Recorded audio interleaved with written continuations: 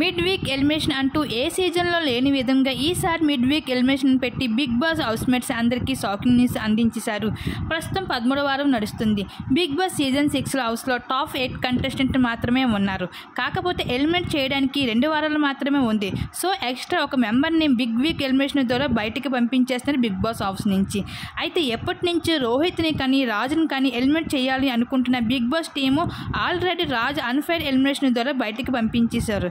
ఇంకా ఇక్కడ మిగిలింది రోహిత్. రోహిత్కి ఓటింగ్స్లో హైయెస్ట్ లిస్ట్లో ఉంటున్నాడు ప్రతిసారి.